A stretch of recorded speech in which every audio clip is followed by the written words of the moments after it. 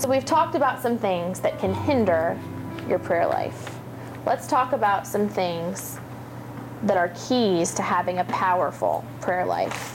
And earlier I said there were 10 and there's 7, so I apologize for that. the first key to a powerful prayer life is to pray.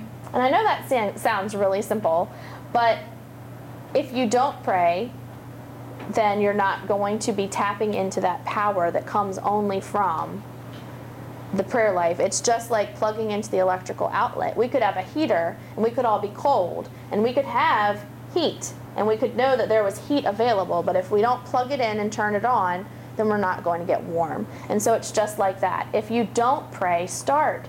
Just talk to God. In Psalm 16:11 it says we are filled with joy in his presence. So if that is the promise of what's going to happen when we go into his presence, then um, it's just motivation to me to pray because I want that joy. I need that joy in my life.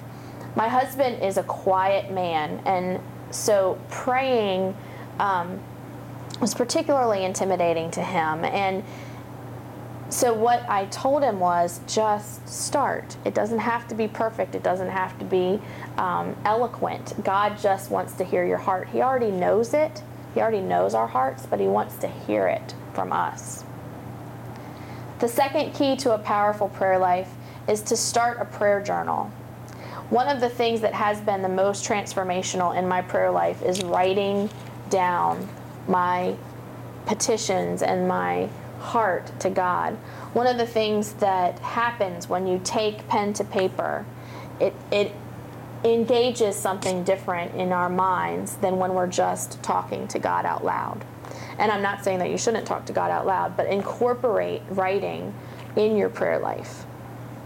Something can happen with the Holy Spirit when you're writing, and you can start out praying about something, and I'll find myself writing about something and praying about it, and I'm, I am convicted to pray about something completely different and it just engages that time with the Holy Spirit in a completely different way.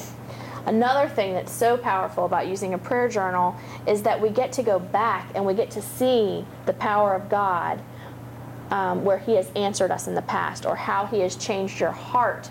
So many times I can go back and look at my prayer journals from past years and see something that I was asking God for, begging God for, not understanding why He wasn't giving it to me, and then um, come down to another two months, three months, sometimes two years, and say, that's why he didn't do that. That's why he um, didn't let that happen.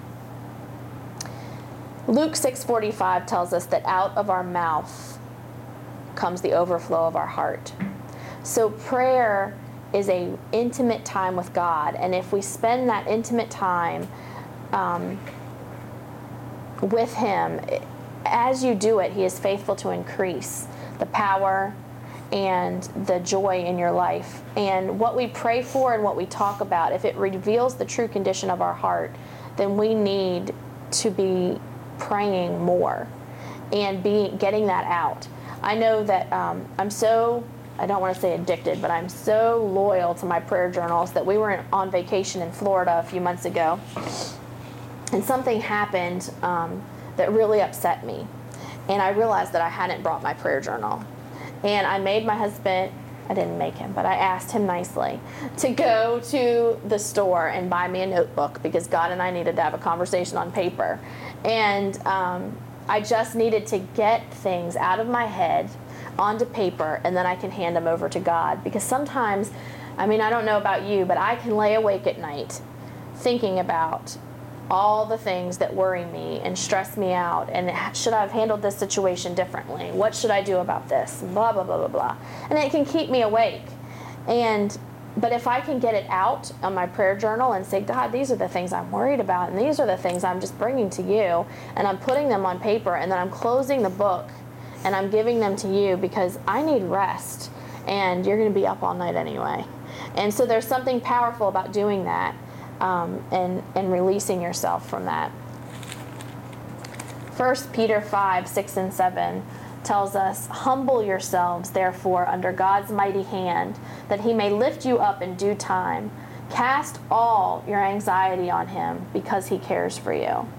He's waiting for us to tell Him what we're worried about, and He'll handle it for us.